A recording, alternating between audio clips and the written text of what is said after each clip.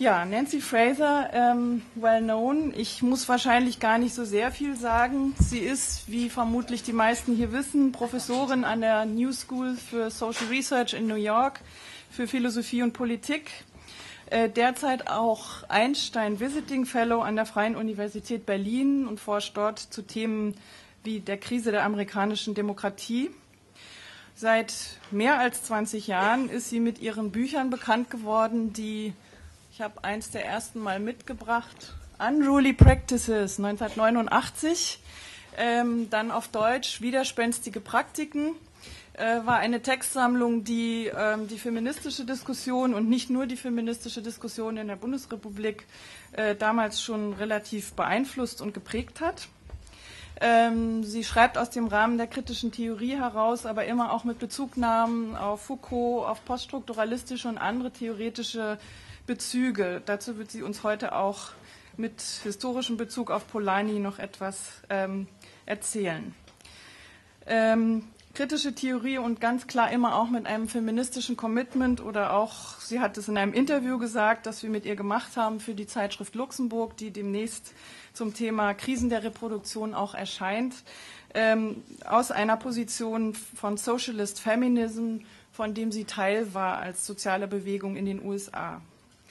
Ähm, ihre, ihr Werk hat sich beschäftigt vor allen Dingen auch mit der Kritik der Veränderung des US-amerikanischen Welfare States, nicht nur, aber auch unter gender- und ähm, geschlechterkritischen Aspekten. Und diese Kritik ist sozusagen immer weitergeschrieben worden ähm, mit der Frage, wie Rasse, Klasse, Geschlecht und andere ähm, Ungleichheits- und Herrschaftsverhältnisse sich verändern, sich überlagern und sozusagen aber auch in der öffentlichen Politik immer wieder auf bestimmte Weise verformt werden, kann man vielleicht sagen. Die Frage nach Gerechtigkeit, nach der Notwendigkeit umverteilender ähm, Politik, Sozialpolitik, Familienpolitik war ein wichtiges Thema. Und auch die Frage, in welchen politischen Arenen überhaupt bestimmte gesellschaftliche Themen verhandelt werden können, Öffentlichkeiten, äh, Publics, ist ein, wichtiger, ein wichtiges Thema gewesen. Aktuell beschäftigt sie sich mit einer historisch kritischen Einordnung der Folgen politischer Kritiken aus den sozialen Bewegungen und insbesondere auch mit der Frage, inwiefern unter anderem auch feministische Kämpfe um Gleichberechtigung, Partizipation und gerechte Verteilung von Arbeit, Einkommen und politischen Einflussmöglichkeiten zwar ungewollt, aber doch effektiv zur Herausarbeitung der neoliberalen Herrschafts- und Dominanzverhältnisse in den Formen des gegenwärtigen Kapitalismus beigetragen haben und ihn damit auch ausgearbeitet und modernisiert haben. Ausgehend von dieser Kritik haben wir eben ein Interview ähm, für die Luxemburg gemacht, wo sie versucht, das sozusagen nochmal auf den Stand von heute zu bringen.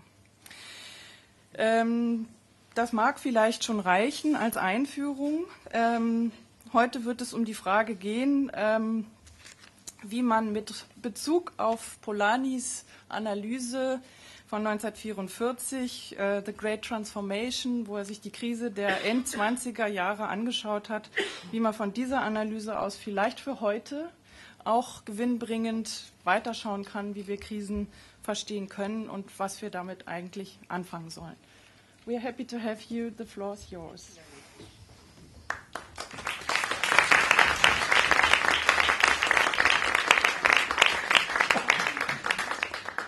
Very, very much, Katerina, for that um, very uh, generous introduction and for uh, organizing this uh, very interesting uh, event in this nice place. it's a great pleasure to be here, and um, I've given a number of uh, lectures throughout uh, Berlin during my couple of months here, but I have to say I have a certain feeling that this might be the, the audience I really want.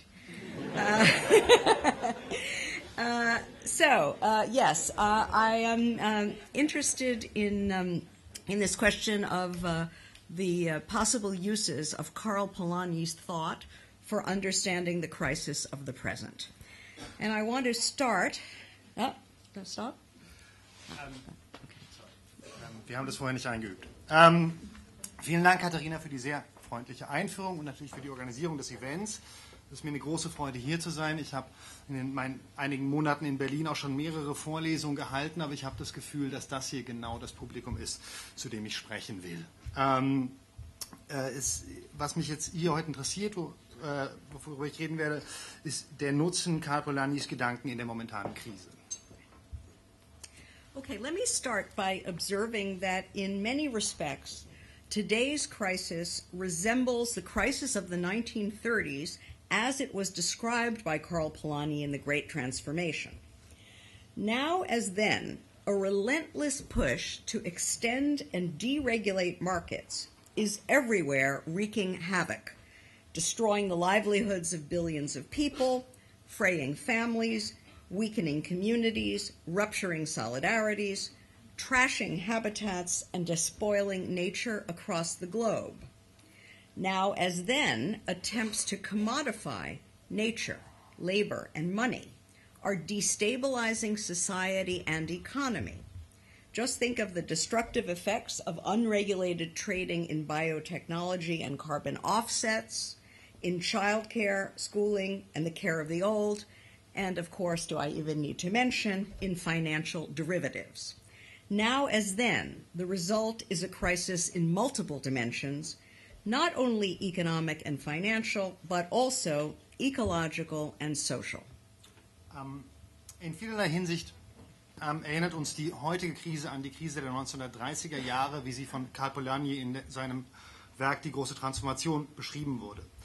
Damals wie heute verursacht ein unnachgiebiger Push, Märkte auszuweiten und zu deregulieren, überall Chaos. Er zerstört die Lebensgrundlagen von Milliarden von Menschen, zerstört Familien, schwächt Gemeinschaften und zerbricht Solidaritäten. Er zerstört Lebensräume und die Natur auf der ganzen Welt. Damals wie heute ähm, destabilisieren Versuche der Inwertsetzung von Natur, von Arbeit und Geld sowohl die Gesellschaft als auch die Wirtschaft. Wir schauen uns dann zum Beispiel die zerstörerischen Effekte von unreguliertem Handel in Biotechnologien und Treibhausgasemissionen an. In der Kinderpflege, in der Schulbildung oder in der Altenpflege und natürlich auch in Finanzderivaten. Damals wie heute ist das Resultat eine Krise oder eine multidimensionale Krise, die nicht nur ökonomisch und finanziell, sondern auch ökologisch und gesellschaftlich ist. In these respects, our crisis seems to share a distinctive deep structural logic with the crisis Polanyi analyzed. Both crises appear to be rooted in a common dynamic, which he called fictitious commodification. In both eras, ours and his, free market fundamentalists have sought to commodify all the necessary preconditions of commodity production turning labor, nature, and money into objects for sale on so called self regulating markets. They propose to treat those fundamental bases of production and exchange as if they could be commodities like any other. In fact, however, the project was self contradictory. Like a tiger that bites its own tail, neoliberalism threatens now, just as its predecessor did then, to erode the very supports on which capitalism depends.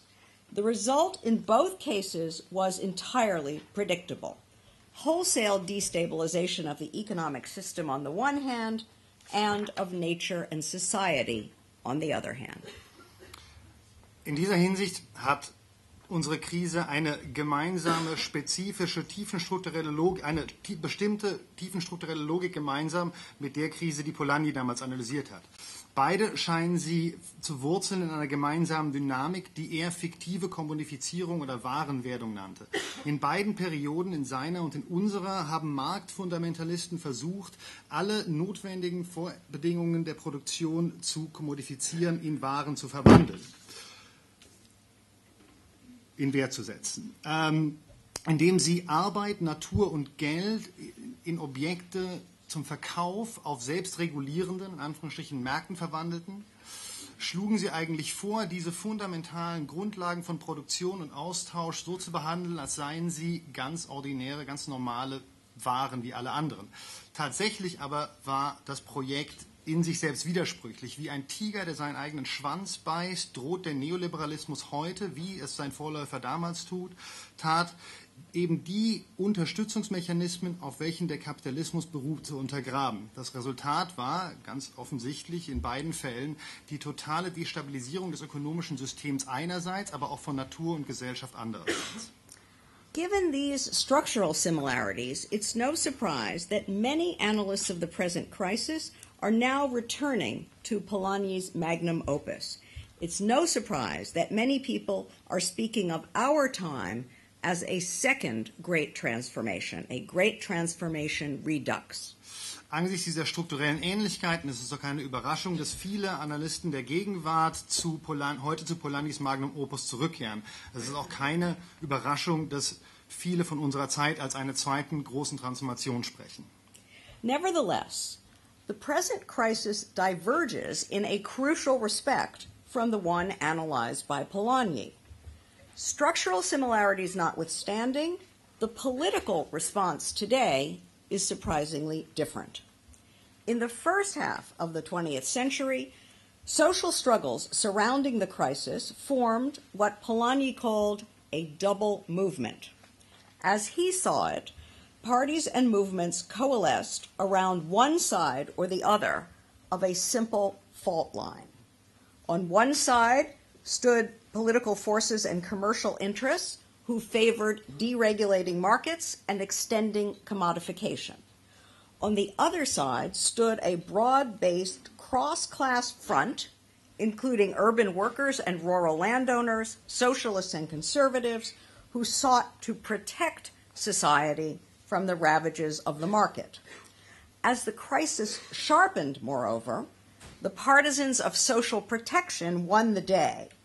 In contexts as divergent as New Deal America, Stalinist Russia, Fascist Europe, and later in post war social democracy, the political classes appeared to converge on at least this one point. Left to themselves, so called self regulating markets in labor, nature, and money would destroy society. Political regulation was needed to save it. Trotzdem unterscheidet sich die heutige Krise in einem zentralen Aspekt von der, die damals von Polanyi analysiert wurde. Trotz bestimmter struktureller Gemeinsamkeiten ist die politische Antwort darauf total anders.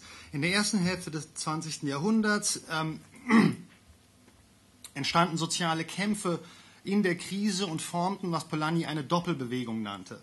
So wie er das sah, gruppierten sich auf je einer Seite einer einfachen Spaltungslinie Parteien und Bewegungen. Und zwar war diese Spaltungslinie die folgende. Auf der einen Seite standen politische Kräfte und wirtschaftliche Interessen, die deregulierte Märkte und eine Ausdehnung der Inwertsetzung unterstützten. Auf der anderen Seite stand eine breite Multiklassenfront, einschließlich städtischer Arbeiter, äh, äh, Landbesitzer, Sozialisten, Konservativen, die versuchten, die Gesellschaft zu schützen vor den wilden Übeln des, Mark des Markts. Als die Krise sich vertiefte, ähm, aus, darüber hinaus, als die Krise sich vertiefte, konnten wir sehen, dass die Unterstützer gesellschaftlicher Wohlfahrt die Kämpfe gewannen. In Kontexten so unterschiedlich wie das Amerika des neuen Deals, das stalinistische Russland, das faschistische Europa und später auch in der Nachkriegssozialdemokratie schienen die politischen Klassen sich immerhin auf einen Punkt einigen zu können sogenannte selbstregulierende Märkte, sofern sie sich selbst überlassen würden, selbstregulierende Märkte in Arbeitskraft, Natur und Geld würden die Gesellschaft zerstören. Um die Gesellschaft zu stützen, war politische Regulation notwendig. Today, however, no such consensus exists. Political elites are explicitly or implicitly neoliberal, committed first and foremost to protecting investors Virtually all of them, including self professed social democrats, demand austerity and deficit reduction, despite the threats such policies pose to economy, society, and nature. Meanwhile, popular opposition fails to coalesce around a solidaristic alternative, despite intense but ephemeral outbursts such as Occupy and the Indignados, whose protests generally lack programmatic content. Progressive social movements are longer lived and better institutionalized, to be sure, but they suffer from fragmentation and fail to unite in a coherent counter project to neoliberalism. All told, We lack a double movement in Polanyi's sense. Heute gibt es aber keinen solchen Konsens.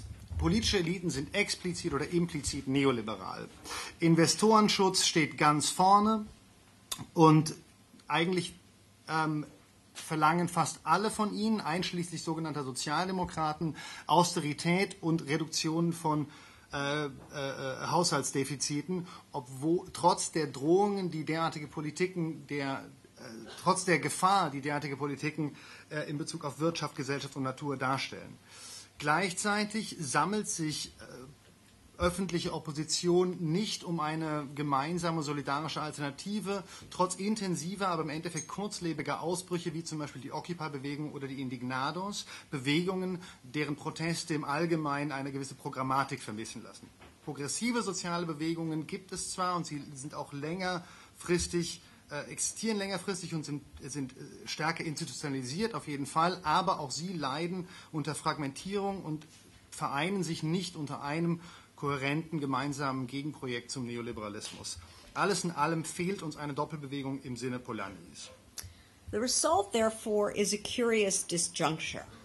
While today's crisis appears to follow a Polanyian structural logic grounded in the dynamics of fictitious commodification, it fails to manifest a Polanyian political uh, logic of the sort that would be manifested by a double movement. Das Resultat ist ein interessanter Widerspruch. Während die Krise einerseits, während einerseits die Krise heute einer Art Polanyianischen strukturellen Logik folgt, denn sie, sie gründet ja in den Dynamiken der fiktiven Inwertsetzung, sehen wir andererseits nicht die Manifestierung einer polanyianischen, polanischen, polanyianischen politischen Logik, äh, äh, wie wir sie in der Doppelbewegung hätten sehen können. What should we make of this disjuncture? How can we best explain the decidedly non Polanyian character of the political landscape of the 21st century? And how should we evaluate it? Why do political elites today fail to champion regulatory projects aimed at saving the capitalist system, let alone society and nature, from the ravages of out of control markets? And why do social movements fail to unite around a counter hegemonic project aimed at defending threatened livelihoods, battered communities, endangered habitats? Are we dealing here with political mistakes, with failures of leadership, defects of analysis, errors of judgment? Alternatively, does the current constellation of political struggle represent an advance in some respects over Polanyi's scenario? Does it reflect some hard won insights of subsequent battles that point to weaknesses in the idea of a double movement? Und was sollen wir jetzt mit diesem Widerspruch anfangen? Wie können wir am besten den äußerst nicht polanyianischen Charakter der politischen Landschaft des 21. Jahrhunderts erklären? Und wie sollen wir die gegenwärtige Konjunktur, die gegenwärtige Situation bewerten? Warum zum Beispiel ähm, treiben die Eliten nicht Regulationsprojekte voran, die, äh, darauf aus, die darauf aus sind, das kapitalistische ökonomische System möglicherweise auch Gesellschaft und Natur von den Zerstörungen eines unkontrollierten Markts zu schützen? Und warum sammeln sich soziale Bewegungen nicht um ein gegenhegemonisches Projekt, das darauf aus ist, bedrohte Lebensgrundlagen, Gemeinschaften und Lebensräume zu schützen? Geht es hier einfach um politische Fehler, einfach um falsche Entscheidungen oder andersrum, ist die momentane Situation vielleicht sogar in gewisser Weise ein, stellt die momentane Situation vielleicht sogar in gewisser Weise einen Fortschritt über Polanyi's Szenario dar?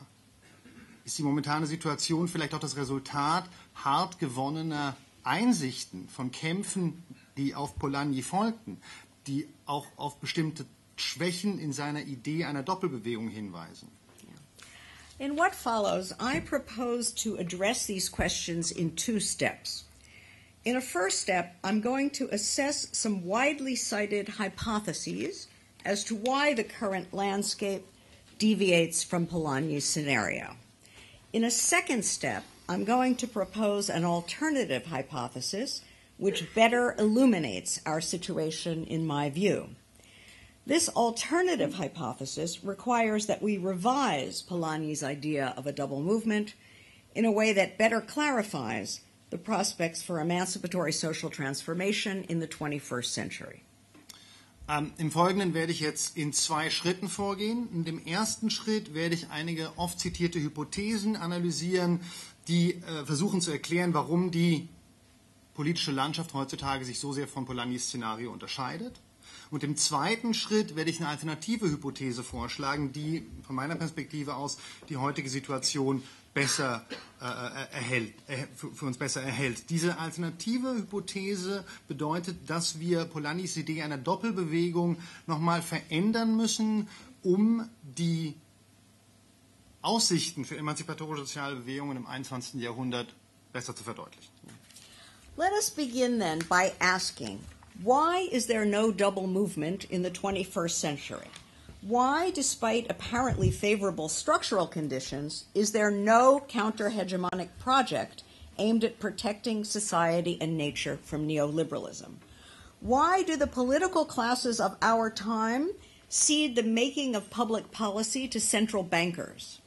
Why do their ranks include so few committed Keynesians, let alone socialists, willing to champion solidaristic alternatives? Why is there no broad coalition of new New Dealers, trade unionists, unemployed and precarious workers, feminists, ecologists, anti imperialists, social democrats, and democratic socialists? Why no popular front insisting that the cost of fictitious commodification should be paid not by society as such, nor by nature reduced to a sink, but rather by those whose relentless drive to accumulate capital precipitated the crisis. Why have the creative protests of indignados and Occupy movements failed to find any coherent, sustained political expression that could mount a credible challenge to those malefactors of wealth, as Franklin Roosevelt would have called them, and to the governments who do their bidding. Ich fange also an mit der Frage, warum gibt es im 21. Jahrhundert keine Doppelbewegung?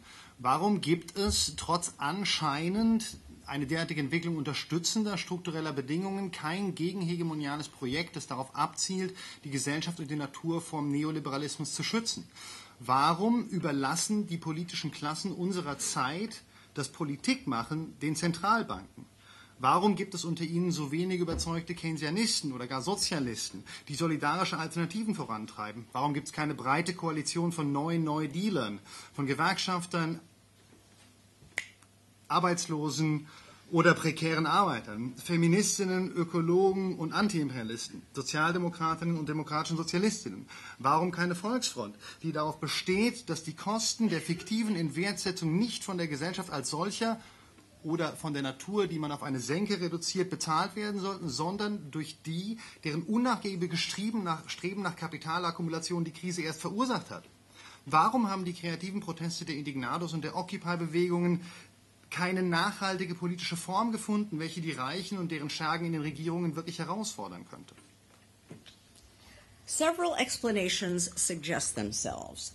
The simplest attributes the absence of a double movement to failures of political leadership.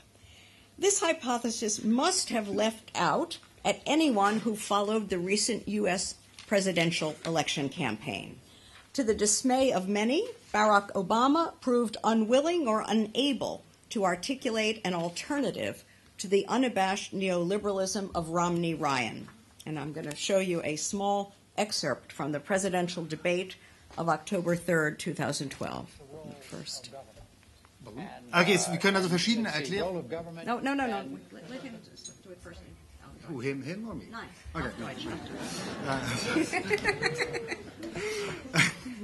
He can wait, he's, he's Ja, on video. ja. Ähm, also wir, haben dafür, wir können dafür verschiedene Erklärungen anführen. Die einfachste davon würde die Abwesenheit einer Doppelbewegung einfach auf politisches Führungsversagen zurückführen. Diese Hypothese würde sich vermutlich jeden aufdrängen, der, die US äh, der den US-Wahlkampf gerade beobachtet hat. Zur, zum Missfallen vieler äh, war Barack Obama offensichtlich nicht in der Lage oder war unwillens, eine klare Alternative zum Neoliberalismus des Romney-Ryan-Camps zu entwickeln. Ähm, Und hier sehen wir jetzt gerade einen ein Ausschnitt aus der ersten äh, Präsid präsidialen Wahlkampfdebatte in den USA.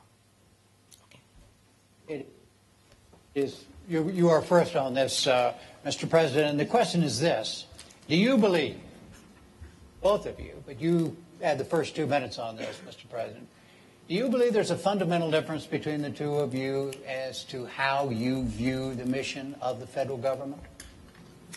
Uh, well, I, I, definitely think there are differences. Yeah. Um, the, the, first role of the federal government is to keep the American people safe.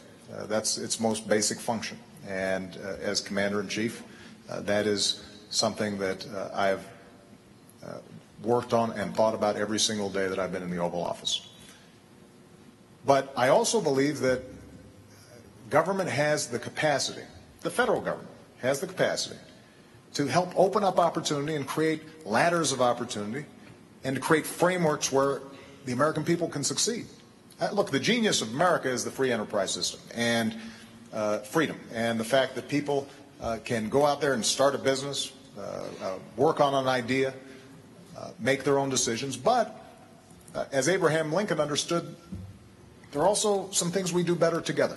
So in the middle of the Civil War, Abraham Lincoln said, let's I think that, that's really enough to give you um, the idea. Also, Herr Präsident, glauben Sie, dass es ein dass es Unterschiede zwischen Ihnen äh, und Romney gibt in Bezug auf die Frage der Rolle des Staates in der Gesellschaft. Obamas Antwort ist, äh, ja, es gibt, einen, äh, also, es gibt einen Unterschied. Ich glaube, dass die zentrale Rolle der, des Staates ist, überhaupt erstmal Sicherheit herzustellen, quasi der Nachtwächterstaat. Darüber denke ich jeden Tag nach, den ich im Weißen Haus sitze. Aber äh, der Staat soll auch Chancen eröffnen, quasi Leitern bauen für die, die sich von unten nach oben ziehen wollen. Und das ist ja auch überhaupt das Geheimnis des Erfolges der USA, der freie Markt und Freiheit ganz im Allgemeinen. Aber, wie uns Abraham Lincoln damals schon im Bürgerkrieg gesagt hat, manches tun wir tatsächlich auch gemeinsam besser.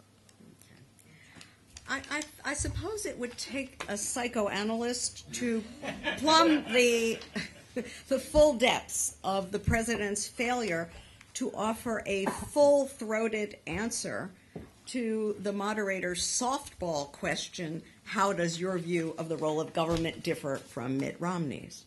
Eigentlich müsste man jetzt vermutlich einen Psychoanalytiker anrufen und zu fragen und das zu analysieren, dieses, dieses totale Versagen äh, Obamas auf die äh, weichgespülte Frage des Moderators eine wirklich starke, kraftvolle Antwort zu geben.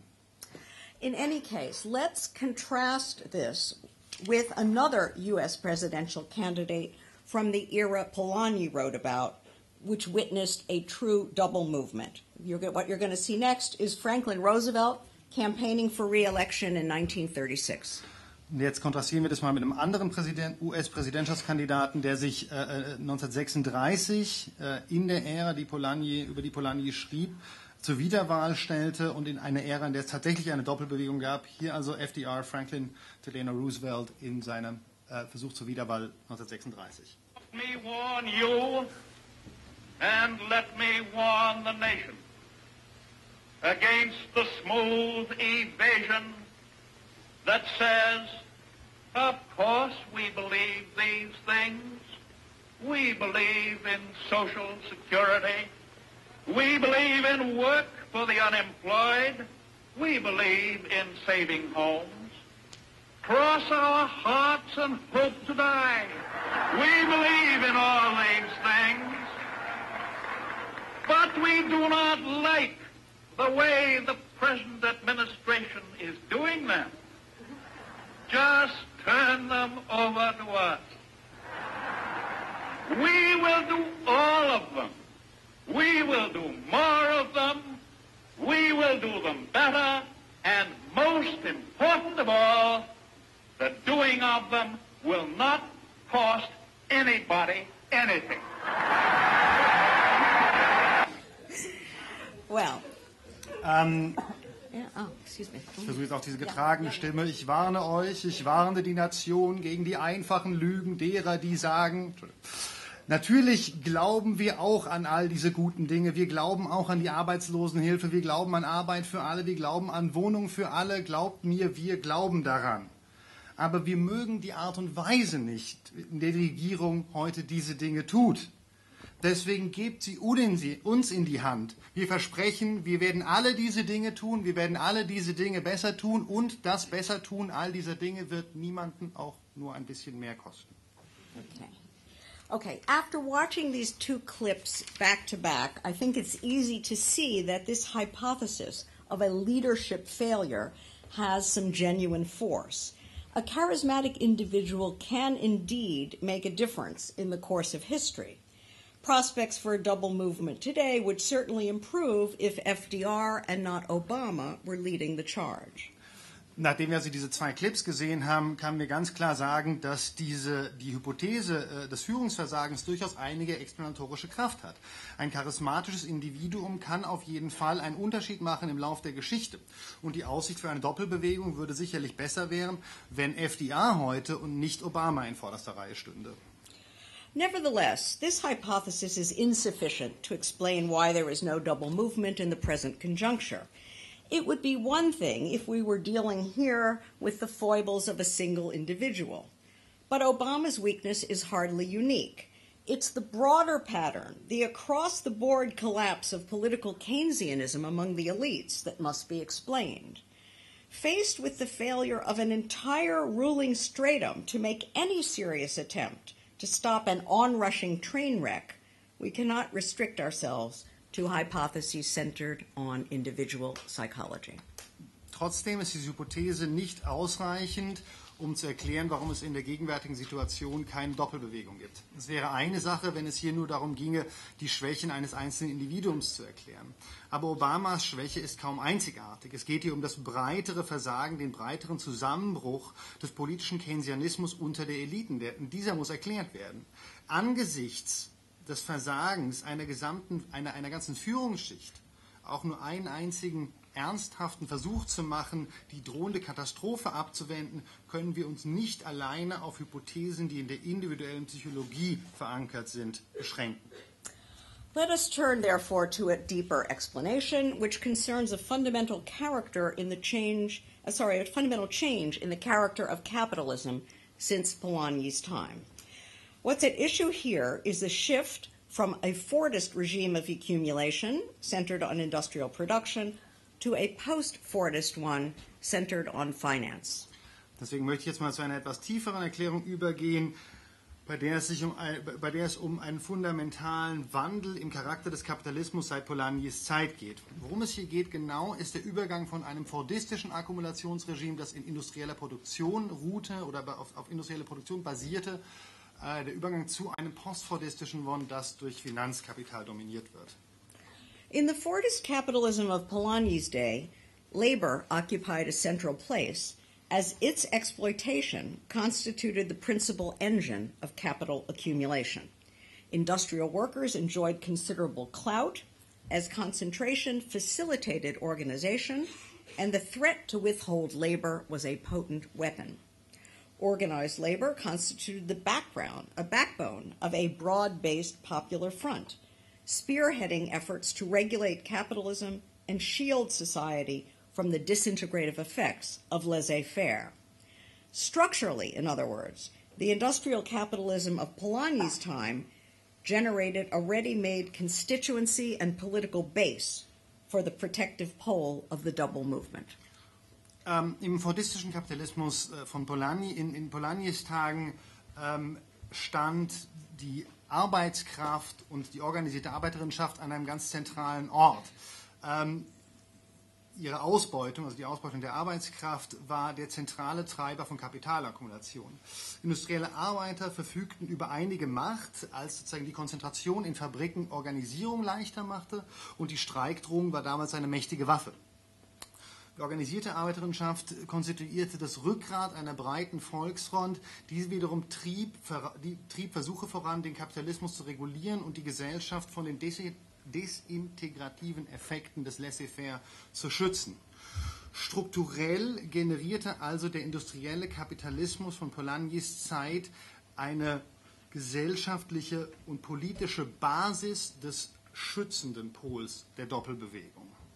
The situation of present day capitalism is fundamentally different. In the current conjuncture, capital prefers, when possible, to bypass the risky business of production. Simplifying the circuit of accumulation, investors find profit in the buying and selling of money and of new financial products that commodify risk, thereby avoiding dependence on labor, whose role is in any case further reduced by new technologies. Necessarily, then, labor lacks the leverage it had in the era Polanyi analyzed. Manufacturing decamps to the semi periphery, union membership plummets, and the strike weapon loses much of its force. Equally important, the class division between labor and capital ceases to appear self evident, becoming obfuscated by the seemingly more salient divide between the thinning ranks of the stably employed on the one hand and the swelling precariat on the other. In this situation, organized labor does not speak for society as such. In the eyes of many, rather, it defends the privileges of a minority that enjoys a modicum of social security against the far greater number who do not. Die Situation des gegenwärtigen, im gegenwärtigen Kapitalismus ist grundlegend anders. In der heutigen Situation zieht es das Kapital vor, das riskante Business der Produktion ganz zu umgehen. Den Akkumulationskreislauf vereinfachend finden heute Investoren Profiten im Kaufen und Verkaufen von Geld und von neuen finanziellen Produkten, die das Risiko selbst in Wert setzen, was wiederum die Abhängigkeit des Kapitals von der Arbeit reduziert. Also dies und neue Technologien reduzieren die Abhängigkeit des Kapitals von der Arbeit. Deswegen fehlt heute notwendigerweise den Gewerkschaften der notwendige Einfluss, den, oder der Einfluss, den sie in der Ära hatten, die Polanyi analysierte. Industrielle Produktion wandert ab in die Semiperipherie, gesellschaftliche Organisierungsgrade sinken und die Streikwaffe wird immer nutzloser.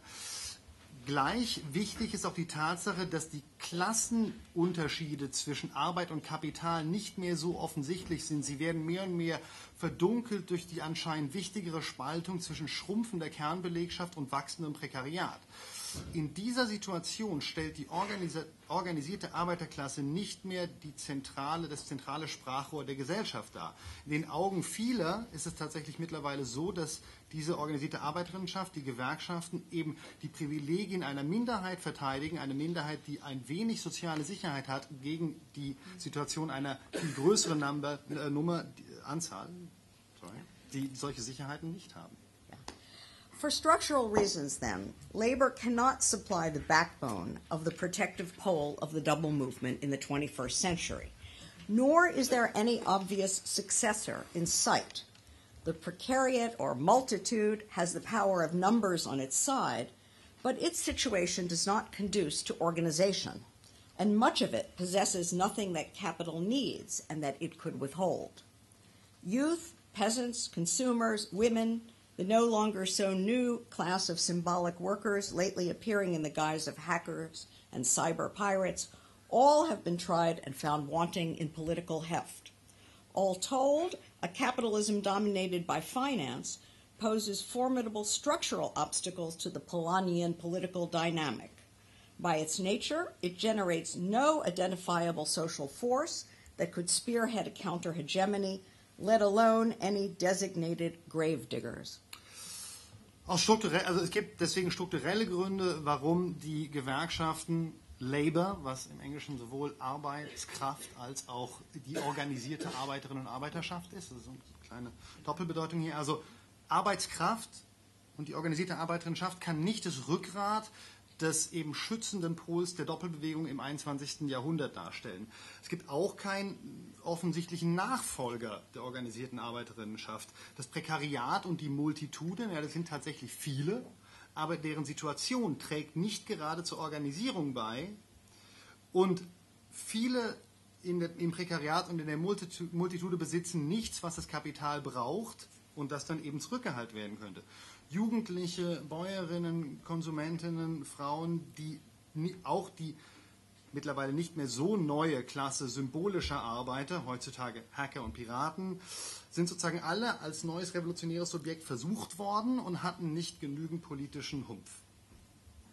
Ähm, alles in allem beinhaltet ein finanzdominierter Kapitalismus hohe strukturelle Barrieren zu, einem, zu einer polanianischen politischen Dynamik.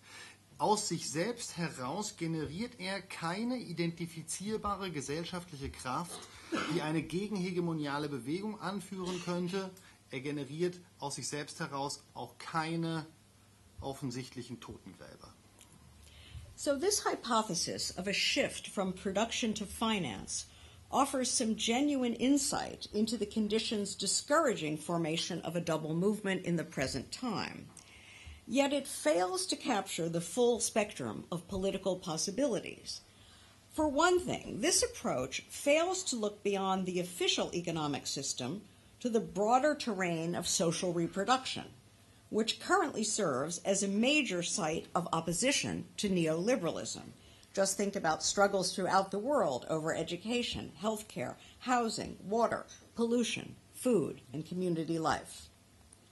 Likewise, the financialization hypothesis focuses one sidedly on class relations as the sole or principal ground of political struggle, while failing to consider relations of status, which presently serve as major bases of mobilization. Again, just think of the politics of recognition, which is arguably the dominant grammar of protest today, organizing struggles over gender, sexuality, religion, language, race, race ethnicity, and nationality.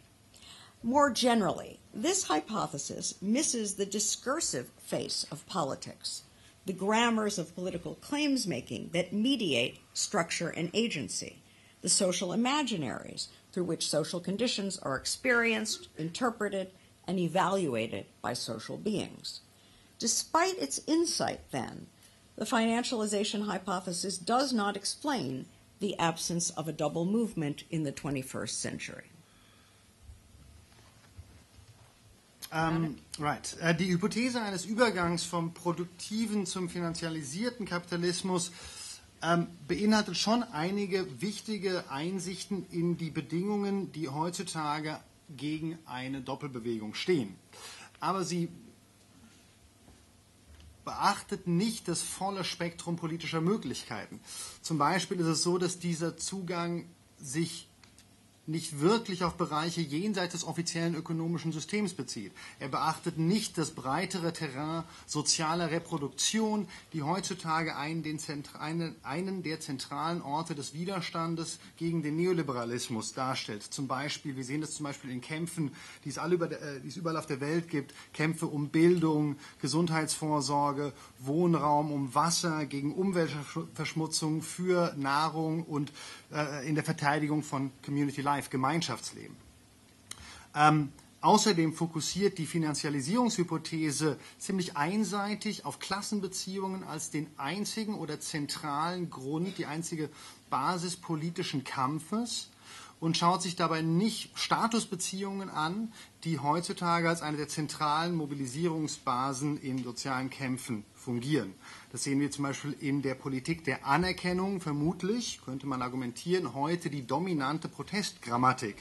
Denn es ist die Politik der Anerkennung, die heute Kämpfe über Gender, Sexualität, Religion, Sprache, Race, Ethnizität und Nationalität organisiert. Darüber hinaus geht diese Hypothese an, am diskursiven Antlitz der Politik vorbei, der Formulierung von Ansprüchen, die Struktur und Agency miteinander vermitteln, den gesellschaftlichen Vorstellungswelten, durch, wel, durch welche gesellschaftliche, das gesellschaftliche Leben erfahren, interpretiert und evaluiert wird. Trotz ihrer Einsichten, trotz ihrer wichtigen Einsichten, also erklärt die Finanzialisierungshypothese nicht im Endeffekt die Abwesenheit einer Doppelbewegung im 21. Jahrhundert. Let us turn, therefore, to a third hypothesis centered on another structural change since Polanyi's time. What has changed in this case is the scale on which crisis is experienced, and therefore the, th- the frame through which it must be addressed. What is at stake specifically is the shift from a 20th century crisis scenario, which was framed in national terms as requiring action by territorial states, to a 21st century scenario, which has destabilized the national frame without yet generating a plausible replacement. Jetzt also eine dritte Hypothese, die sich auf einen anderen Strukturwandel seit Polanyi's Zeit bezieht.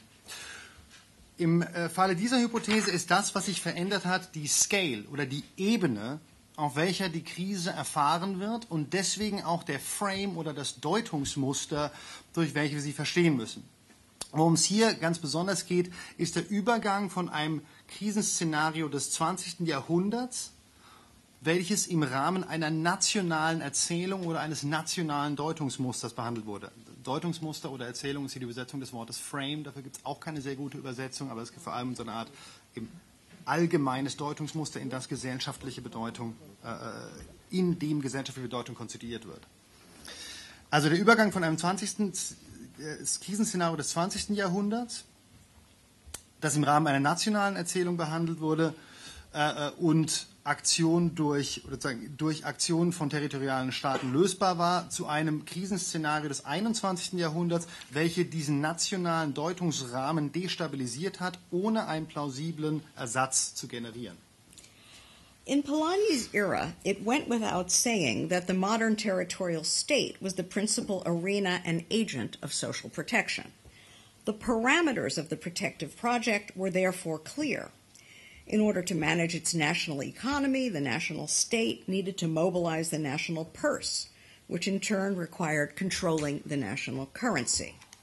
In fact, virtually the first thing Franklin Roosevelt did upon assuming office in 1933 was to take the United States off the gold standard. That was the move that made possible the entire range of policies and programs, including Social Security, that we associate with the New Deal. After the war, moreover, in the U.S. and elsewhere, the national frame continued to specify all the major parameters of social protection, defining the protecting agent as the national state, the object to be managed as the national economy, the means to be employed as national policy, fiscal, monetary, industrial, and most importantly, the circle of those entitled to protection as the national citizenry. Equally important, the imagined community of the nation supplied the solidary ethos that made protection a viable political project able to command broad support. Thus, the double movement in Polanyi's era depended fundamentally on the national frame. Ähm, es war in Polanyi's Ära war es völlig klar, dass der moderne Territorialstaat die zentrale soziale Schutzinstanz war. Ähm, die Parameter dieses Schutzprojektes, dieses, äh, dieses Projektes des gesellschaftlichen Selbstschutzes waren, des, waren daher vollkommen klar. Um seine eigene Volkswirtschaft zu managen, musste der Nationalstaat das Staatsbudget mobilisieren oder nutzen können und dafür wiederum war es notwendig, dass er auch seine eigene Währung kontrollierte. Deswegen war es auch so, dass das allererste, was äh, FDA äh, tat, als er 1933 ins Amt kam, äh, war, die Vereinigten Staaten vom Goldstandard runterzunehmen. Das war der eine politische Move, der zentrale politische Move, der überhaupt den ganzen New Deal mit seinen verschiedenen sozialen Programmen erst möglich machte. Nach dem Krieg ähm, nach dem Zweiten Weltkrieg, sowohl in den USA als auch, auch anderswo, bestimmte das nationale Deutungsmuster weiterhin alle zentralen Parameter des gesellschaftlichen Selbstschutzes. Es definierte zum Beispiel den Nationalstaat als den zentralen schützenden Akteur. Es definierte das zu managende Objekt als die nationale Wirtschaft. Und die Mittel dafür waren nationalstaatliche Politiken, Fiskal-, Monetär- und Industriepolitik. Und letztens definierte es auch den Kreis derer, die geschützt werden sollten, als das Staatsvolk. Ebenso wichtig war die Tatsache, dass die vorgestellte Gemeinschaft, Imagined Community der Nation, die solidarische Ethik generierte, die diesen gesellschaftlichen Selbstschutz erst zu einem durchsetzungsfähigen politischen Projekt machte, der breite politische Unterstützung, das, ein, ein Projekt, das breite politische Unterstützung sammeln konnte. Deswegen beruhte die Doppelbewegung in Polanyi's Ära ganz zentral auf dem nationalen Deutungsmuster und dem, der Stabilität des Nationalstaats. Today, however, the national frame no longer goes without saying. Out of the wreckage of World War II, the U.S. spearheaded construction of a global capitalist system institutionalized in the Bretton Woods framework, which aimed to combine international free trade with state regulation at the national level. But that compromise formation crumbled within a few decades. By the 1970s, the U.S. was on its way to becoming a rentier nation, investing its capital abroad and losing control over its currency, and with it, control over its budget. Other weaker states also lost the capacity to steer their economies, if indeed they ever had it in the first place. Thanks to long histories of colonial subjection, as well as to the continuation after independence of imperialist predation by other means, post colonial states never enjoyed protective capacities equal to those of the states of the core, a disparity only exacerbated later by neoliberal policies of structural adjustment. Meanwhile, the construction of Europe as an economic and monetary union without corresponding fiscal and political integration disabled the protective capacities of member states without creating broader European wide equivalents to take up the slack. The evidence today is all around us. Greece is reduced to a protectorate, Italy is ruled by bankers, and central banks set limits to domestic policy even here in Germany and in France. The upshot is that the project of social protection can no longer be envisioned in the national frame. With no alternative frame on the horizon to replace it, the project seems to lose its credibility. So we lack another crucial presupposition for a double movement. Ähm, heute aber kann ganz offensichtlich das nationale Deutungsmuster, der nationale Deutungsrahmen nicht mehr so unproblematisch angenommen werden. Nach der Zerstörung des Zweiten Weltkriegs trieb die USA die Konstruktion eines globalen kapitalistischen Systems auf der Basis des Bretton Woods Frameworks voran. Aber diese Kompromissformation äh, bröckelte innerhalb weniger Jahrzehnte. Falls ich das gerade vom Text ab, abwies, kann es sein, dass ich hier noch eine ältere Version habe. Um, sorry, I had stuff Yeah. from your older version. I'm Yeah, sorry, sorry. I didn't get the changes in. That's my, my mistake. Um, Details. It's the political economy details. Während der 70er Jahre, in den 1970er Jahren war die USA schon drauf und dran, eine sogenannte äh, äh, Rentier Nation, eine Art Nation, ein Land von Investoren zu werden, die ihr Kapital im Ausland investierten, äh, in, ein, eine Nation, die ihr Kapital im Ausland investierte und dabei gleichzeitig die Kontrolle über ihre eigene Währung verlor und damit auch die Kontrolle über ihr Budget oder über ihren Haushalt. In anderen, andere schwächere Staaten verloren natürlich auch die Fähigkeit, ihre Wirtschaften zu steuern, insofern die, sie diese Fähigkeit jemals hatten. Ähm, und aufgrund langer Geschichten kolonialer Unterdrückung und aufgrund auch der Weiterführung nach der Unabhängigkeit von imperialistischer Ausbeutung durch andere Mittel konnten die postkolonialen Staaten niemals die gleichen Schutz, gesellschaftlichen Schutzfähigkeiten, Kapazitäten entwickeln wie die Staaten der äh, die imperialistischen Kernstaaten. Eine Ungleichheit, die später auch noch durch neoliberale strukturelle Anpassungsprogramme vertieft wurde. Gleichzeitig setzte die Konstruktion Europas als eine ökonomische und monetäre Union ohne gleichzeitige politische und fiskalische Integration die Schutzkapazitäten ihrer Mitgliedstaaten äh, außer Kraft, ohne gleichzeitig breitere europaweite Äquivalente zu schaffen, welche diese Rolle erfüllen könnten.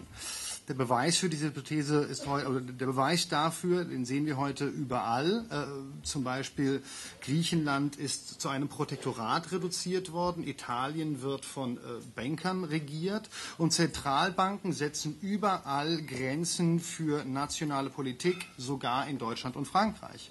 Das Resultat ist, dass das Projekt des gesellschaftlichen Selbstschutzes nicht länger im nationalen Deutungsrahmen gedacht werden kann. Ohne ein alternatives Deutungsmuster am Horizont aber, das diesen äh, wieder äh, ersetzen könnte, scheint also das Projekt gesellschaftlichen Selbstschutzes seine Glaubwürdigkeit zu verlieren.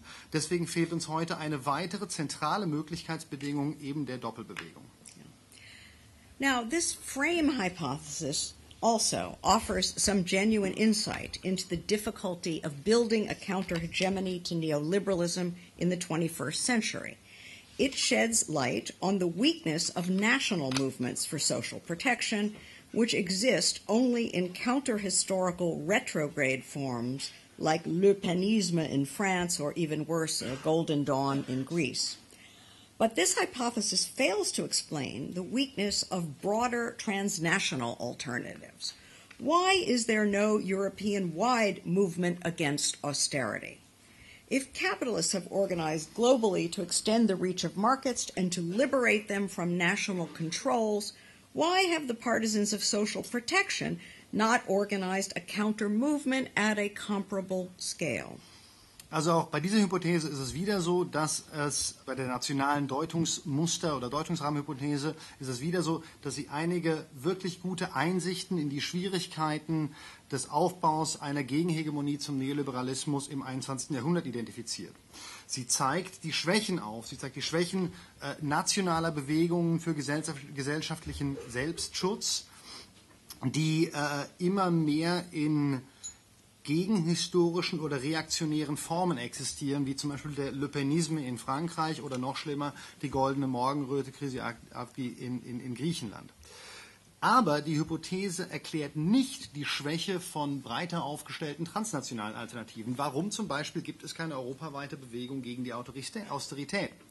wenn sich die Kapitalisten global organisiert haben, um die Reichweite von Märkten auszudehnen und sie, um, und, und, sie von, von, von nationaler Kontrolle zu befreien, warum, haben die, warum hat der, die andere Seite des Pols, die Unterstützer des gesellschaftlichen Selbstschutzes, nicht ein ähnliches, eine Gegenbewegung auf einer ähnlichen Skala, auf einer ähnlichen Ebene organisiert? In general, then, none of the hypotheses considered here is fully satisfying. Nor would a simple combination of the three suffice to convince. Even if we could succeed in articulating or linking individual psychology, financialization, and globalization, we would still have failed to grasp the specifically political dynamics that have derailed Polanyi's scenario.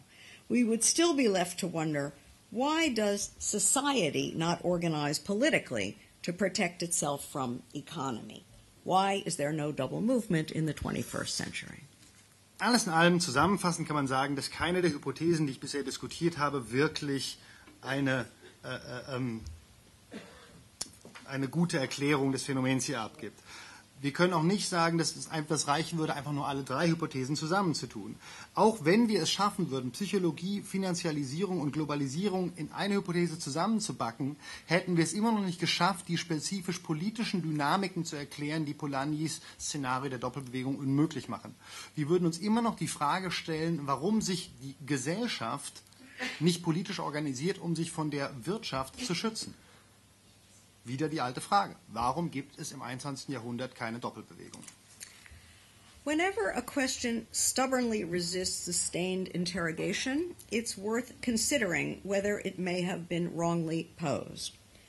When we ask, why is there no double movement in the 21st century, we repeat a familiar counterfactual gesture, as in, why were there no socialist revolutions in the advanced industrial states of the capitalist core? The problem here is clear. Focusing on that which is absent, we ignore that which is present. Suppose, however, we recast our inquiry in a more open ended way by examining the grammar of really existing social struggle in the decades following publication of the Great Transformation. Wann immer sich eine Frage sturerweise der Beantwortung entzieht, muss man sich vielleicht selbst die Frage stellen, ob die Frage falsch gestellt war. Wenn wir also fragen, warum, wenn wir fragen, warum gibt es im 21. Jahrhundert keine Doppelbewegung, dann wiederholen wir damit einen bekannten Kontrafakt, eine bekannte kontrafaktische Geste im Sinne von zum Beispiel, warum gibt es keine sozialistischen Revolutionen in den äh, äh avancierten Staaten, industriellen Staaten der kapitalistischen Welt. Das Problem ist hier offensichtlich indem wir uns auf das konzentrieren, was nicht da ist, ignorieren wir das, was tatsächlich da ist. Was aber, wenn wir unsere Suche anders denken, als offene Frage nach der Grammatik real existierender sozialer Kämpfe in den Jahrzehnten, die auf die Veröffentlichung der großen Transformation folgen? To this end, let us consider the vast array of social struggles that do not find any place within the scheme of the double movement. I'm thinking of the extraordinary range of emancipatory social movements that erupted on the scene in the 1960s and spread rapidly across the world in the following decades anti racism, anti imperialism, anti war, the New Left, second wave feminism, LGBT liberation, multiculturalism, and so on. Often focused more on recognition than redistribution, these movements were highly critical of the forms of social protection that were institutionalized in the welfare and developmental states of the post war era. Turning a withering eye on the cultural norms encoded in social provision, they unearthed invidious hierarchies and social exclusions. For example, new leftists expose the oppressive character of bureaucratically organized social protection, which disempowered their beneficiaries, turning citizens into clients. Anti imperialist and anti war activists criticized the national framing of first world social protections, which were financed off the backs of post colonial peoples whom they excluded.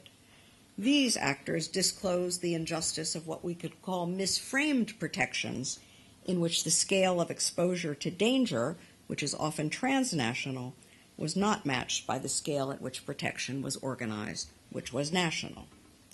Meanwhile, feminists revealed the oppressive character of protections premised on the family wage and on androcentric views of work and contribution showing that what was protected was less society per se than male domination.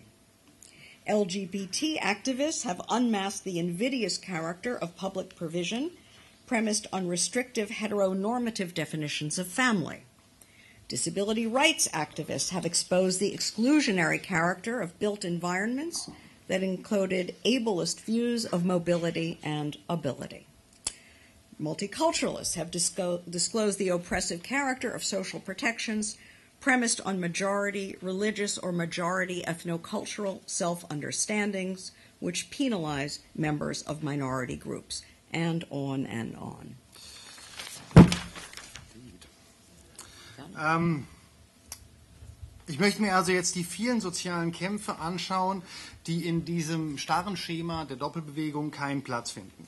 Ich denke ja an die beeindruckende Breite von emanzipatorischen Bewegungen, die äh, sich auf die welthistorische Szene kämpften in den 60er Jahren und schnell daraufhin äh, ähm, und sich über die gesamte Welt verbreiteten. Antirassismus, Antiimperialismus, die Antikriegsbewegung, die neue Linke, äh, den Second Wave Feminismus, äh, LGBT-Befreiung, Multikulturalismus und so weiter. Diesen Bewegungen ging es oft mehr um Anerkennung als um Umverteilung. Sie waren sehr kritisch gegenüber den Formen des Wohlfahrtsstaats, die in den oder den Formen gesellschaftlichen Selbstschutzes, die in den damaligen Wohlfahrts, Wohlfahrts- und Entwicklungsstaaten der Nachkriegsära institutionalisiert waren. Ihre vernichtende Kritik an den kulturellen Normen im Kern des Wohlfahrtsstaates entdeckte und brachte hervor versteckte Hierarchien und soziale Ausschlüsse. Zum Beispiel entdeckten oder zeigten die neu, zeigte die neue Linke den Unterdrückungscharakter bürokratisch organisierter Wohlfahrtsprogramme auf, welche ihre Nutznießerinnen entmächtigten und Bürger zu Abhängigen machten. Antiimperialisten und Antikriegsaktivistinnen kritisierten Wohlfahrtspolitiken der ersten Welt, die wiederum finanziert waren durch die Ausbeutung postkolonialer Völker. Was wiederum auf die, das Unrecht sogenannter misframed, also im, im falschen, auf der falschen Skala verorteter Schutzmechanismen hinwies, wo die Ebene, auf der man der Gefahr ausgesetzt war, welche oft transnational war, nicht durch die Ebene gekontert werden konnte, auf welcher der soziale Selbstschutz organisiert war. Das war nämlich üblicherweise national. Gleichzeitig äh, entdeckten und zeigten Feministinnen den, den unterdrückenden Charakter von Schutzmechanismen auf, die auf der Idee eines Familienlohns basierten, ebenso wie auf androzentrischen Perspektiven, Verständnissen von Arbeit und Leistung. Diese Feministinnen zeigten, dass was hier geschützt wurde, nicht so die Gesellschaft per se war, sondern was geschützt wurde hier, war vielmehr die patriarchale Herrschaft. LGBT-Aktivistinnen enthüllten den hinterhältigen Charakter öffentlicher Dienste, die wiederum auf restriktiven, heteronormativen Definitionen von Familie basierten.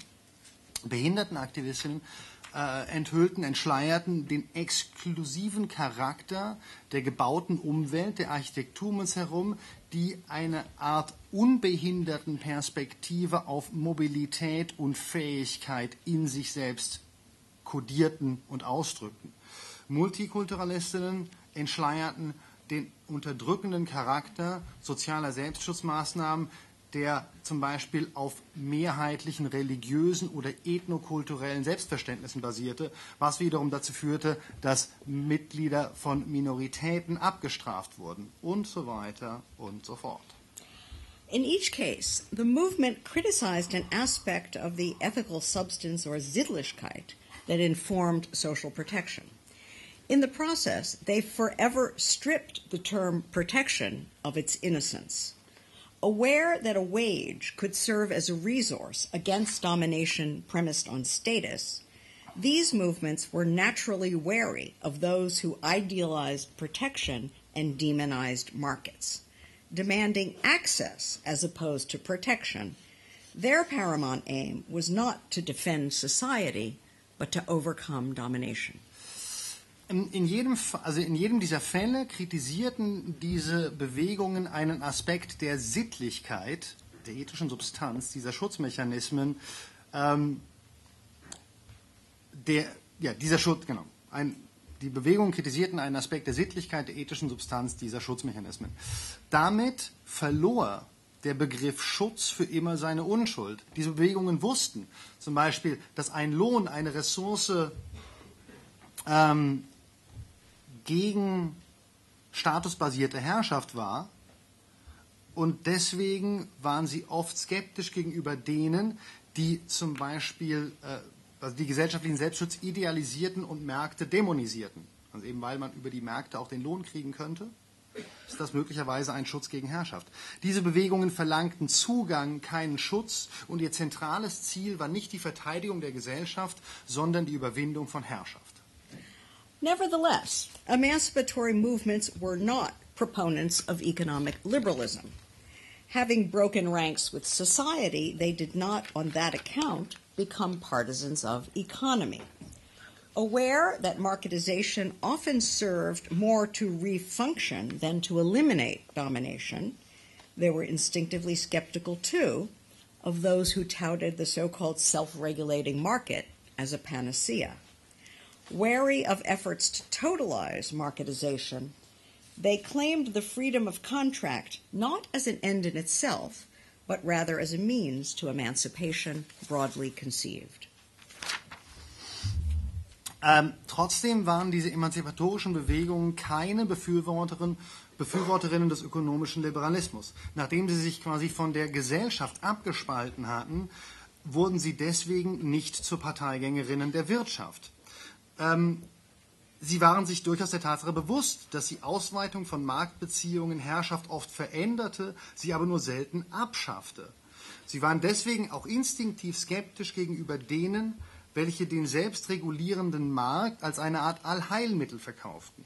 Sie waren skeptisch gegenüber dem Versuch der Totalisierung von Marktbeziehungen und verlangten Vertragsfreiheit nicht als Zweck an sich, sondern als eines von vielen Mitteln auf dem Weg zur Emanzipation im weit verstandenen Sinne. In general, then, the social movements of the post war era do not fit either pole of the double movement. Championing neither marketization nor social protection, they espoused a third political project, which I shall call emancipation. Occulted by Polanyi's figure, This project needs to be given a central place in our efforts to clarify the grammar of social struggle in the 21st century. Im Allgemeinen passen die, Beweg die sozialen Bewegungen der Nachkriegszeit also weder zum einen noch zum anderen Pol der Doppelbewegung. Weder für den Wohlfahrtsstaat noch für den Marktliberalismus kämpfen, trieben sie ein drittes politisches Projekt voran, was ich hier Befreiung, Emanzipation nennen werde dieser dritte Pol, der in Bolanis Denkfigur verdunkelt wird, muss eine zentrale Rolle in unserem Versuch spielen, die Grammatik sozialer Kämpfe im 21. Jahrhundert zu verstehen. I propose accordingly to analyze the present constellation by means of a different figure, which I call the triple movement. Like Polanyi's figure, the triple movement serves as an analytical device for parsing the grammar of social struggle in a capitalist society. But unlike the double movement, it delineates a three sided conflict among proponents of marketization, adherents of social protection, and partisans of emancipation. The aim here is not simply greater inclusiveness, but rather to capture the shifting relations among these three sets of political forces whose projects intersect and collide. The triple movement foregrounds the fact that each can ally in principle with either of the other two poles against the third. Let me explain. Mein Vorschlag ist daher, die momentane Konstellation, die momentane Situation mit Hilfe einer anderen Denkfigur zu analysieren, die ich die Dreifachbewegung nennen würde, Triple Movement. Wie bei Polanyi's Denkfigur dient die Idee einer Dreifachbewegung als ein analytisches Instrument, um die Grammatik sozialer Kämpfe in der heutigen kapitalistischen Gesellschaft zu entziffern. Im Gegensatz zur Denkfigur der Doppelbewegung zeichnet sie aber einen dreiseitigen Konflikt nach zwischen Wirtschaftsliberalen, Wohlfahrtsstaatlern und Befreiungsbewegungen. Wirtschaftsliberale, Wohlfahrtsstaatler, Befreiungsbewegungen. Ziel, das Ziel dieser Hypothese ist nicht aber einfach nur größere Inklusivität zu schaffen, sozusagen jeden sozialen Kampf mitzudenken, weil er halt ein sozialer Kampf ist. Vielmehr geht es darum, die sich verändernden Beziehungen zwischen diesen drei Sets, drei Typen politischer Kräfte nachzuzeichnen, Beziehungen, die sich immer wieder kreuzen und auch immer wieder aufeinanderprallen. Die Denkfigur der Dreifachbewegung fokussiert auf den Fakt, auf die Tatsache, dass im Prinzip jeder dieser drei Pole mit jedem anderen Pol gegen den dritten eine Koalition eingehen kann. Ich werde es jetzt mal erklären. To speak of a triple movement is to posit that each of its three constituent poles is inherently ambivalent. We can already see, contra Polanyi, that social protection is often ambivalent, affording relief from the disintegrative effects of markets upon communities while simultaneously entrenching domination within and among them. But the same is true of the other two terms. Marketization may indeed have the negative effects Polanyi stressed, but as Marx, Marx appreciated, it can also beget positive effects to the extent that the protections it disintegrates are oppressive. As, for example, when markets in consumer goods are introduced into bureaucratically administered command economies, or when labor markets are open to those who have been involuntarily excluded from them. Nor, and this is very important, nor is emancipation immune to ambivalence, as it produces not only liberation, but also strains in the fabric of existing solidarities. Thus, even as it overcomes domination, emancipation may help dissolve the solidary ethical basis of social protection, thereby clearing a path for marketization. Die Denkfigur der Dreifachbewegung argumentiert auch, dass jeder ihrer drei konstitutiven Pole notwendigerweise ambivalent ist. Wir können jetzt schon gegen Polanyi sehen, dass soziale Sicherung oft ambivalent ist. Einerseits bringt sie nämlich Schutz vor den desintegrativen Effekten, die Märkte auf Gemeinschaften, auf Communities haben. Gleichzeitig vertieft sie aber auch oft Herrschaft in und zwischen solchen Gemeinschaften.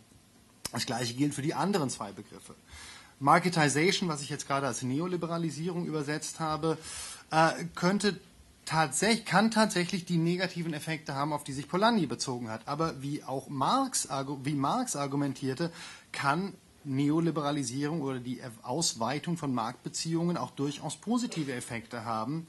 Insofern die Schutzmaßnahmen, die durch die Neoliberalisierung zerstört werden, an selbst Herrschaftsmechanismen sind. Zum Beispiel, wenn äh, äh, die Fähigkeit, Konsumgüter zu kaufen in bisher bürokratisch organisierte und geleitete Planwirtschaften, also wenn der Kauf von, von, von Konsumgütern in solchen Wirtschaften möglich wird. Oder wenn Arbeitsmärkte für die geöffnet werden, die bisher von ihnen ausgeschlossen wurden. Letztens ist es, auch dieser Punkt ist sehr wichtig, Befreiungsbewegungen sind auch gegenüber dieser Ambivalenz nicht immun. Denn Befreiungs- oder Emanzipation, ah, jetzt merke ich hier gerade einen kleinen Übersetzungsfehler, denn Befreiung produziert nicht nur Befreiung, Emanzipation produziert nicht nur Befreiung, sondern sie äh, äh, führt auch dazu, dass, auf, dass, dass, dass der Zusammenhang existierender Solidaritäten unter Druck gesetzt wird. Das heißt also, Emanzipation überkommt zwar oder sozusagen geht Emanzipation overcome, Entschuldigung. Oh, überwindet. Danke. Emanzipation überwindet zwar Herrschaft, aber indem sie das tut, kann sie auch gleichzeitig die solidarische, ethische Basis des gesellschaftlichen Selbstschutzes untergraben und somit weiterer Neoliberalisierung Vorschub leisten. Seen this way, each term has both a telos of its own and a potential for ambivalence that unfolds through its interaction with the other two terms. Contra Polanyi, the conflict between marketization and social protection cannot be understood in isolation from emancipation.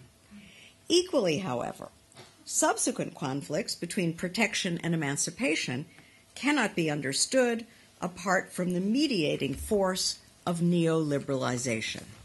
In other words, a parallel critique can be made of emancipatory movements.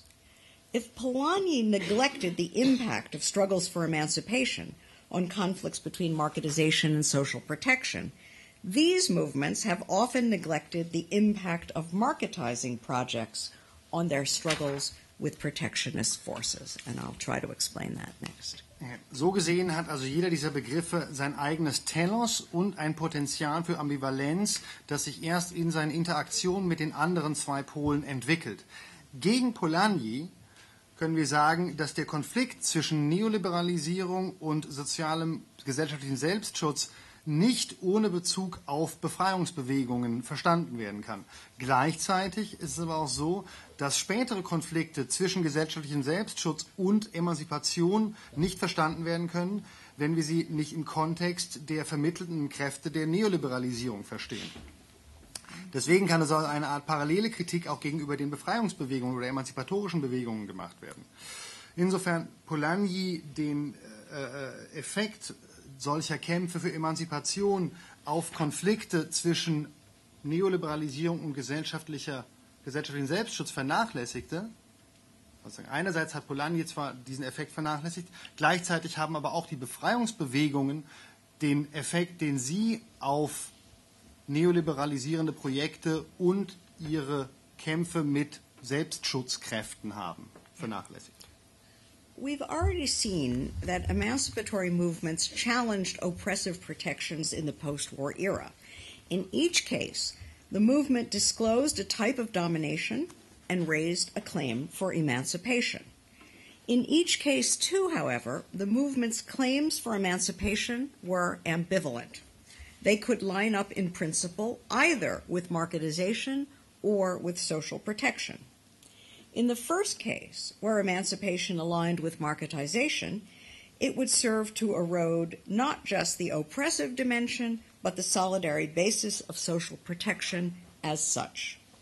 In the second case, where emancipation aligned with social protection, it would serve not to erode, but rather to transform the ethical substance undergirding protection.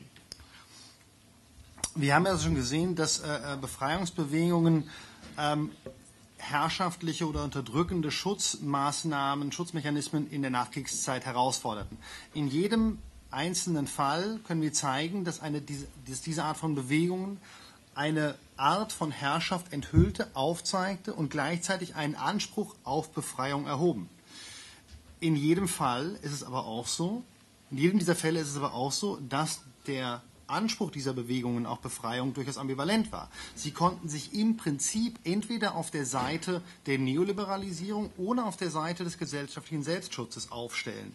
Im ersten Fall wo Befreiungsbewegungen sich auf der Seite von Neoliberalisierung aufstellen, wäre ihr Effekt dann nicht nur die herrschaftliche, die unterdrückende Dimension, sondern auch die solidarische Basis von gesellschaftlichem Selbstschutz als solcher aufzulösen. Im zweiten Fall, wo sich Emanzipationsbewegungen auf der Seite gesellschaftlichen Selbstschutz aufstellen, wäre ihr Effekt nicht, wäre ihr Effekt diese ethische Substanz, die ethische Substanz, welche dem sozialen Selbstschutz unterliegt, nicht zu erodieren, sondern sie zu transformieren. As a matter of fact, all those movements encompassed both protectionist and marketizing currents. In each case, liberal currents gravitated in the direction of marketization, while socialist and social democratic currents were more likely to align with the forces of social protection. Arguably, however, emancipation's ambivalence has been resolved in recent years in favor of marketization. Insufficiently attuned to the rise of free market forces, the hegemonic currents of emancipatory struggle have formed what some have called a dangerous liaison with neoliberalism, supplying a portion of the so called new spirit or charismatic rationale for a new mode of capital accumulation, touted as flexible, difference friendly, and encouraging of creativity from below. As a result, the emancipatory critique of oppressive protection has converged with the neoliberal critique of protection per se. In the conflict zone of the Triple Movement, emancipation has joined forces with marketization to double team social protection. Tatsächlich finden wir in all diesen Befreiungsbewegungen sowohl protektionistische als auch neoliberalisierende Strömungen. Und in jedem Fall tendierten die äh, eher liberalen marktliberalen Strömungen in diesen Bewegungen in Richtung der Neoliberalisierung, während sozialistische und sozialdemokratische Strömungen natürlich sehr, sehr viel wahrscheinlicher sich auf die Seite der Kräfte des sozialen Selbstschutzes stellten. Und wir könnten aber auch argumentieren, man könnte aber auch sagen, dass die Ambivalenz der Emanzipation der Befreiungsbewegungen in den letzten Jahren zugunsten einer Allianz mit der Neoliberalisierung aufgelöst wurde. Die hegemonialen Strömungen innerhalb dieser emanzipatorischen Kämpfe waren nicht ausreichend auf den Aufstieg der sozusagen Freimarktkräfte, der neoliberalisierenden Kräfte eingestellt und bildeten deswegen oder sozusagen gingen deswegen eine Art gefährliche Liebschaft mit dem Neoliberalismus ein, indem sie einen Teil des neuen Geistes oder des, des sozusagen der charismatischen Rationalität eines neuen Kapitalakkumulationsmodus bereitstellten, eines neuen Modus der Akkumulation, der flexibel, prokreativ, pro Differenz und so weiter ist. Ähm, als das Resultat daraus ist dass die emanzipatorische Kritik repressiver Schutzmechanismen sich immer mehr der neoliberalen Kritik dieser Schutzmechanismen angenähert hat. In der Konfliktzone der Dreifachbewegung hat, haben die Befreiungsbewegungen mehr und mehr sich auf die Seite der Neoliberalisierung gestellt, um gegen gesellschaftlichen Selbstschutz vorzugehen. Here at last, we begin to recognize the actual state of political play in the 21st century. In the present alignment, an emboldened neoliberal party draws strength from the borrowed charisma of emancipatory movements. Stylizing itself as an insurrection, it adopts the accents of emancipation to excoriate social protection as a fetter on freedom. Meanwhile, a deflated protectionist party struggles to rid itself of the taint of domination exposed by emancipatory movements. Demoralized, on the defensive, and lacking conviction, it generates no romance, no counter hegemonic vision that could galvanize opposition to neoliberalism. Finally, the party of emancipation finds itself on a narrow precipice. Tacking between the other two poles, its dominant currents repeatedly cross the line that separates a valid critique of oppressive protection and legitimate claims for labor market access, on the one hand, from an uncritical embrace of meritocratic individualism and privatized consumerism on the other hand. Und so langsam schält sich hier also die, die tatsächliche Situation politischer Kämpfe im 21. Jahrhundert heraus. In der momentanen Situation zieht eine ermutigte neoliberale Partei Stärke vom geliehenen Charisma der emanzipatorischen Befreiungsbewegungen. Sich selbst als Aufstand stilisierend nimmt sie den Akzent, den Dialekt der Emanzipation an, um damit gesellschaftlichen Selbstschutz als Fessel der Freiheit selbst zu attackieren. Gleichzeitig versucht eine deutlich geschrumpfte protektionistische Partei, sich sozusagen den üblen Geruch der Herrschaft loszuwerden, der durch die emanzipatorischen Bewegungen erst enthüllt wurde. Demoralisiert in der Defensive und ohne wirkliche Überzeugungen generiert diese Partei keine Romantik, keine gegenhegemoniale Vision, die in der Lage wäre, Opposition gegen den Neoliberalismus zu artikulieren. Letztendlich die Partei der Emanzipation findet sich auf einem extrem schmalen Grad. Sie versucht zwischen den zwei anderen Polen hindurchzukommen, aber ihre dominanten Strömungen schaffen es immer wieder nicht, eine Linie nicht zu überqueren, die Linie nicht zu überqueren, die eine notwendige und richtige Kritik herrschaftlicher und unterdrückender Formen des Selbstschutzes und legitimer Ansprüche ähm, auf Zugang zum Arbeitsmarkt einerseits von einem von der unkritischen Umarmung meritokratischen Individualismus und privatisierten Konsumismus andererseits trennt. By clarifying this constellation, the Triple Movement highlights the specifically political challenges facing efforts to build a counter hegemonic project to neoliberalism. Parsing the field of really existing struggles, it brings into focus the grammars of claims making and social imaginaries that mediate the responses of political actors to their situation. This political focus does not invalidate, but enriches and complements the three hypotheses we considered earlier. Above all, it clarifies the processes that demoralized social democratic elites, endowed neoliberalism with the charisma that enabled its hegemony, and defanged and dispersed the forces of emancipation. Ähm, indem sie diese Konstellation, äh, indem sie diese Konstellation deutlich macht und verständlich macht, fokussiert die Hypothese der Dreifachbewegung auf die spezifisch politischen Herausforderungen, die sich heute dem Versuch, ein gegenhegemoniales Projekt zum Neoliberalismus zu artikulieren, entgegenstellen. In der Analyse des Feldes real existierender gesellschaftlicher Kämpfe bringt es vor allem oder fokussiert es auf die Grammatik der Ansprüche und der gesellschaftlichen Vorstellungswelten, welche die politischen Antworten der Akteure auf die jeweilige Situation vermitteln und, und, und, und beeinflussen. Dieser Fokus widerlegt die drei anderen Thesen, die wir vorher besprochen haben, nicht. Er bereichert und stärkt sie. Vor allem verdeutlicht er die Prozesse, die dazu führten, dass sozialdemokratische Eliten demoralisiert wurden, dass neoliberale Eliten das Charisma abschöpfen konnten, das über ihnen überhaupt erst die Hegemonie ermögliche, und die Prozesse, die den Zahn der Emanzipationsbewegung zogen und diese schwächten. Equally important, the Triple Movement suggests a post-Polanyian assessment of the present state of political struggle.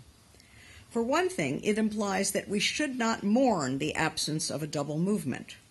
However much it complicates the struggle against neoliberalism, the rise of emancipation represents an advance. There is no going back to the hierarchical, exclusionary, communitarian understandings of social protection whose innocence has been forever and justly shattered. Henceforth, No protection without emancipation.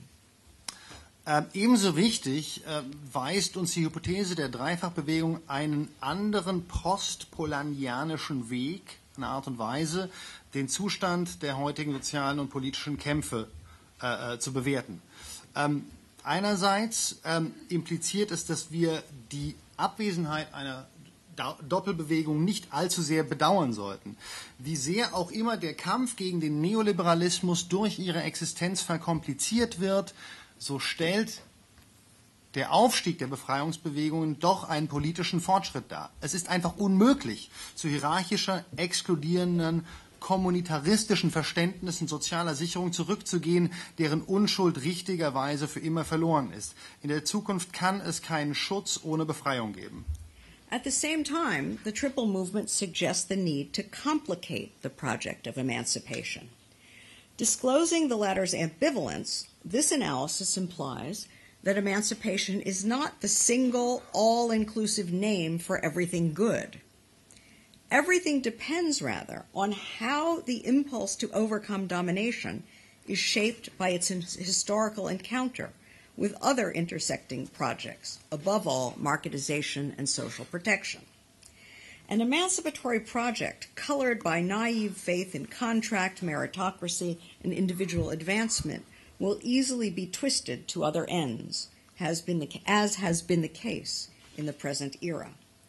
Equally, however, an emancipatory project wedded to the wholesale rejection of markets effectively cedes indispensable liberal ideals to free marketeers, while abandoning the billions of people across the globe who rightly understand that there is something worse than being exploited, namely being counted as not worth exploiting.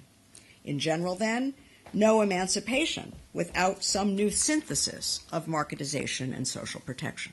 Gleichzeitig weist die Hypothese der Dreifachbewegung auch auf die Notwendigkeit hin, das Projekt der Emanzipation, der Befreiung zu, komplizieren.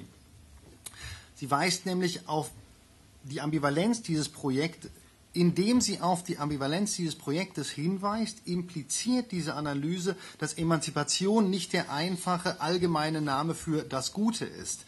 Es kommt alles darauf an, es kommt nämlich alles darauf an, wie der Impuls der Herrschaftsüberwindung in seinem Zusammen, in seinem historischen Zusammentreffen mit anderen Projekten ausgeformt wird und vor allem gibt sie eben die Neoliberalisierung und den gesellschaftlichen Selbstschutz.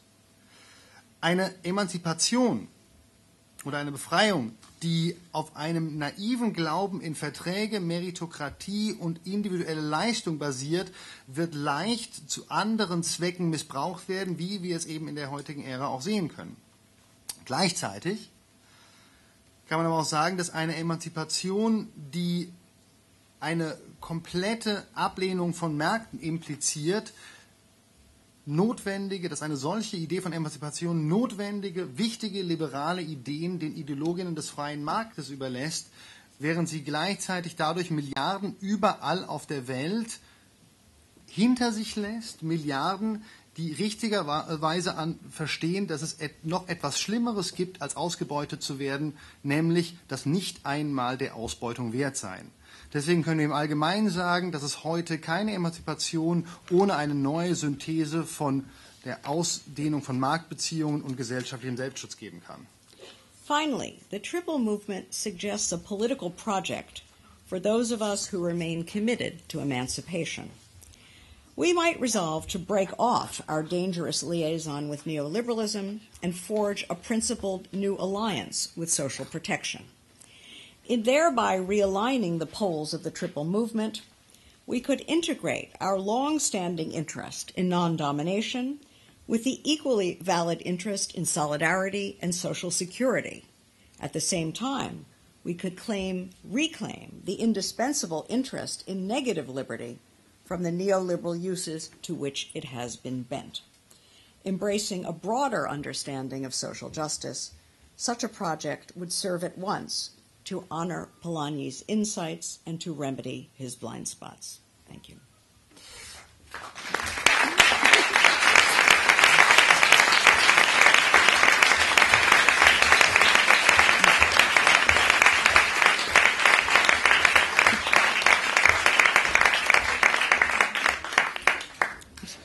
Echt schlecht im Timing noch der letzte Absatz.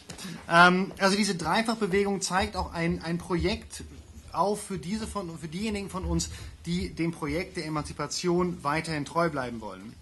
Wir sollten uns entscheiden, unsere gefährliche Liebschaft mit dem Neoliberalismus abzubrechen und eine neue, prinzip, prinzipienbasierte ein neues prinzipienbasiertes Bündnis mit dem gesellschaftlichen Selbstschutz einzugehen.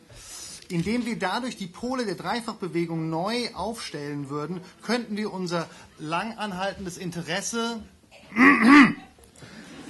in Herrschaftsfreiheit mit dem ähnlich wichtigen, mit dem gleich wichtigen Interesse in Solidarität und gesellschaftlichen Selbstschutz vereinen. Wir könnten auch das notwendige Interesse an negativer Freiheit von den neoliberalen Rollen, die es gespielt hat, trennen, indem wir ein breiteres Verständnis von sozialer Gerechtigkeit annehmen, könnte ein solches Projekt gleichzeitig Polanyi's Einsichten ehren und seine Blindspots bearbeiten.